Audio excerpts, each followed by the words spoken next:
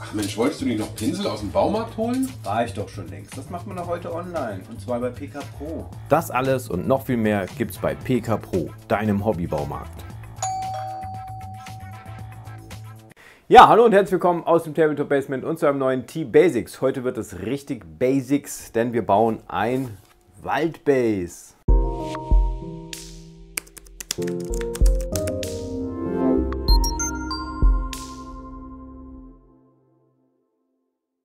Ja, herzlich willkommen zurück und schön, dass du wieder eingeschaltet hast. Ja, wir machen heute ein schnelles Waldbase. Wir brauchen für Studio auch mal wieder ein paar äh, nette Geschichten, wo wir einfach mal wieder ein paar, ja, stabile Waldbasen brauchen. Das heißt, wir brauchen ein, ein anständiges Base, was halt irgendwie nicht irgendwie kaputt geht oder ausfranselt, weil wir es aus Styrodur bauen, sondern wir brauchen richtig schön was aus Plastik hat. Das wird quasi unser Base. Darauf ein bisschen Unebenheiten aus Styrodur. Das schnipseln, schnipseln wir uns ein bisschen zurecht, schleifen das ein bisschen. Dann wird das Ganze verspachtelt, ich nehme hier Terrains Neutral Texture for Earth von AK Interactive. Wir brauchen ein bisschen Streumaterial. Ich habe hier ein bisschen Walderde und ein bisschen äh, so eine kleine Turfmischung. Und dann brauchen wir natürlich das Wichtigste, Bäume. Bei den Bäumen werden wir auch noch mal ein bisschen Hand anlegen, denn ähm, ich werde die so nutzen, wie sie sind, weil die Heki-Sachen sind wirklich schön. Auch preis-leistungsmäßig sind die echt ganz geil. Könnt ihr gerne mal bei uns im Shop vorbeischauen. Wir haben da einiges inzwischen schon von da. Ähm, ich werde sie aber ein bisschen fester machen. Das heißt, wir müssen diese Bäume, dass da nichts mehr abbröselt, irgendwie noch ein bisschen stabiler kriegen. Das heißt, ich werde die nochmal schön einsprühen mit ein, mit ein bisschen Zeug, mit ein bisschen Fixierspray. Mal gucken, ähm, was ich da nutze. Vielleicht nehme ich auch Haarspray. Vielleicht, ja, Haarspray könnte glänzen. Ich denke mal, Wasserleim ist immer nicht schlecht oder halt Fixierspray. Vielleicht mache ich so eine Mischung aus Fixierspray, Wasserleim und dann werde ich die einfach nochmal richtig schön einsprühen, dass das nochmal richtig schön hart wird. Und ähm, vielleicht flocke ich nochmal ein bisschen nach und dann sollten die Dinge auch stabil sein. Ja, aber ich würde sagen, wir legen direkt los und wir beginnen mit unserem Base und unseren Unebenheiten. Ja, was brauchen wir für den Anfang? Wir brauchen natürlich ein Stück Plastikkart, das habe ich mir jetzt hier schon zurechtgeschnitten. Eine etwas organische Form. Hier werden wir wahrscheinlich drei Bäume platzieren können. Und ähm, damit es nicht so platt wirkt, habe ich mir gedacht, okay, wir nehmen uns jetzt einfach ein bisschen Styrodur und äh, schneiden hier einfach nochmal so zwei, drei kleine Inseln raus, um einfach so ein bisschen Erhöhung zu bekommen. Ähm, das kleben wir dann mit Sekundenkleber. Ja, genau, mit Sekundenkleber, weil das trocknet dann nämlich richtig schön schnell an. Natürlich wird es das ein bisschen anfressen, das macht aber nichts. Wenn wir mit Activator Spray arbeiten, dann geht das relativ schnell und ja, die Möglichkeit da, das Styrodur anzufressen, ist relativ gering. Außerdem brauchen wir die schnelle Trocknung. Ähm, Leim habt ihr vielleicht schon mal gehört, da gibt es dieses Warping, das heißt, es könnte sich einfach auch verziehen. Das kann passieren, muss nicht sein. Gerade bei Holz ist das extrem schlimm, aber auch bei Plastikat kann das passieren. Deswegen nutze ich jetzt für diese Geschichten erstmal ähm, Sekundenkleber. Und gut, dann bringen wir ja sowieso ein bisschen Feuchtigkeit ins Spiel mit der Texturpaste und dann müssen wir mal gucken, was passiert. Am besten, ja, um da auf Nummer sicher zu gehen, das Ganze immer noch ein bisschen beschweren, damit es auch wirklich gerade ist. Wichtig ist natürlich auch ein wirklich gerader Untergrund, damit euch da keine Wölbung äh, reinprägen. Das habe ich jetzt in dem Fall, ist es eigentlich relativ gerade. Gut, ich schneide mir ein paar Inseln raus und dann wird das geklebt.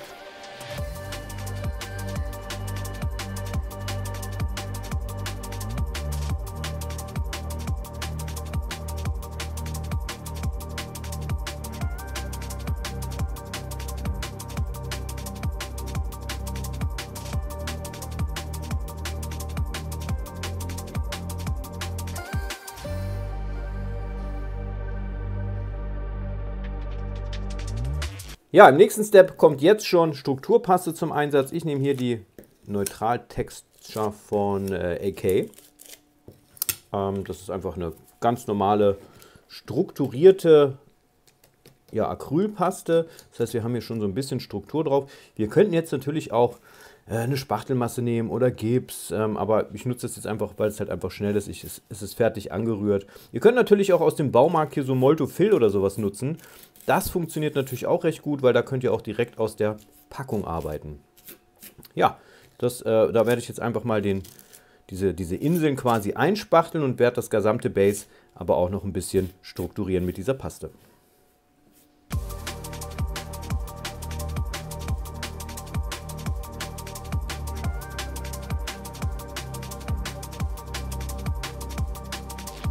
Ja, im nächsten Schritt kommt nun unsere Waldbodenerde. Ihr seht, ich habe das Base nochmal eingefärbt. Das ist einfach dafür zur Sicherheit, falls der Bodengrund doch mal irgendwo durchblitzt oder so. Ähm, deswegen grundiere ich das immer noch mal ganz gerne in einem Braunton. Ich habe auch schon die Bases der Bäume draufgeklebt. Die werden wir jetzt halt mit einsanden. Und dann werden wir das Ganze einmal komplett fixieren. Das heißt, wir werden von oben mit der Pipette einfach mal mit ein bisschen flüssig Weißleim oder Fixierspray das Ganze ein bisschen festigen, dass das wirklich, wirklich gut getränkt ist. Und dann muss das natürlich erstmal wahrscheinlich erstmal wieder 24 Stunden lang tro äh, trocknen. Dann werden wir unsere Bäume befestigen, beziehungsweise das können wir jetzt im gleichen Atemzug schon mal machen, denn ich habe ja gesagt im Vorfeld, ich möchte meine Bäume noch ein bisschen fixieren. Ihr seht, hier ist überall noch so ein bisschen loses Zeug. Und auch da werde ich mit einem Fixierspray arbeiten, dass das einfach nochmal richtig schön hart wird. Und die Bäume können wir direkt in Space dann noch stecken. Wir können sie erstmal lose reinstecken, können aber direkt schon das Ganze besprühen und sollte da noch was runtertropfen von dieser Flüssigkeit, dann ist es gut, dann ist der Bodengrund da und der saugt das Ganze dann noch mit auf. Ja, und dann sind wir schon fast fertig, dann gehen wir noch ein paar Details äh, dem ganzen Boden und dann äh, sollte das schon fertig sein.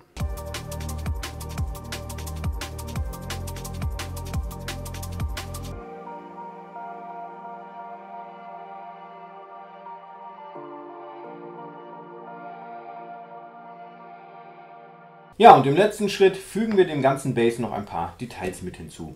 Da könnt ihr jetzt natürlich voll übertreiben und ausrasten oder aber es kann auch so bleiben natürlich wie es ist. Wir haben hier einen schönen Waldboden, der einfach schon so ein bisschen strukturiert ist. Wir haben hier schon verschiedene Farbnuancen einfach drauf, das kann man jetzt auch so lassen, aber ihr könnt natürlich das Ganze jetzt auch noch ausschmücken. Ihr könnt da Grasbüschelchen, Tafts draufkleben. Ihr könnt, wir haben hier die schönen Sträucher, die wir hier haben zum Beispiel. Äh, da werde ich auf jeden Fall gleich ein bisschen was dabei reinsetzen.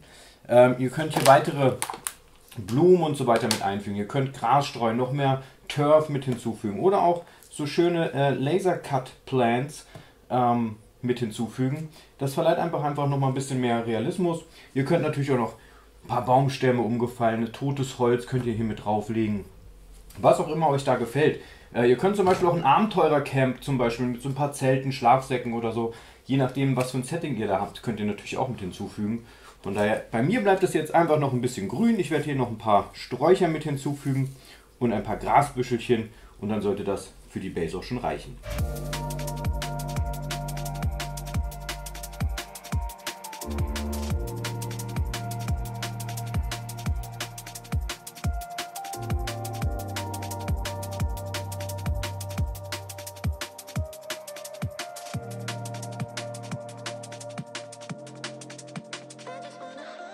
Ja, und fertig sind unsere Waldbasen. Und ihr seht schon hier vorne im Vordergrund, ich habe nicht nur das Base gemacht, sondern ich habe gleich ein bisschen mehr gemacht. Denn ich habe gleich die Chance genutzt, äh, um hier ein bisschen Gelände fürs Studio wieder herzurichten.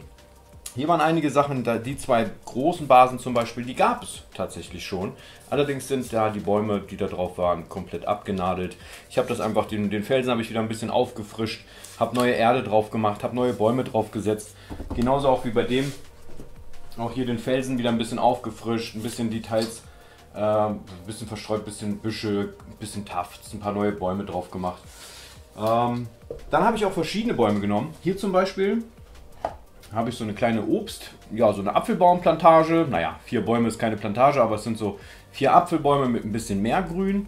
Dann habe ich hier zum Beispiel auch so Silber, Silbereschen, glaube ich. Also auch mal die, die Farben der Bäume einfach ein bisschen variiert auch auf den anderen Bases schöne große Bäume verwendet.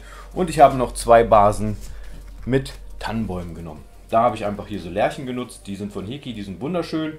Ähm, Preis-Leistung stimmt da auch und das sind einfach auch Tannen, wo ich sage, okay, das sind halt nicht diese typischen Klobürstannen. Auch hier habe ich einen Felsen noch mit eingearbeitet. Das Ganze gibt es auch nochmal auf zwei Basen. Auch hier ist ein Felsen mit dabei.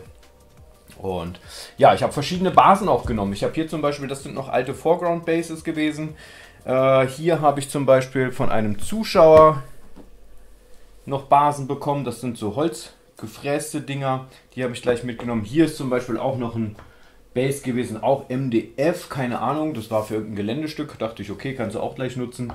Und natürlich auch ein bisschen Plastikkart.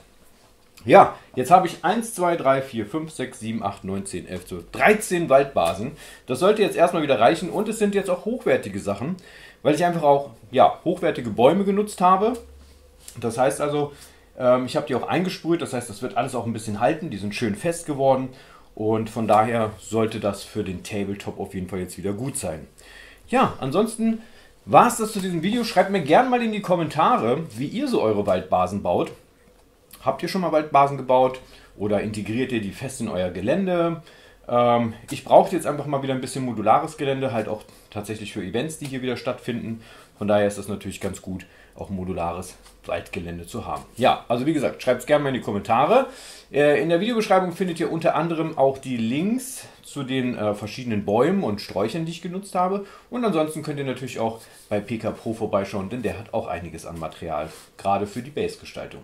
Also, ich sage danke fürs Zuschauen, bis zum nächsten Mal und tschüss.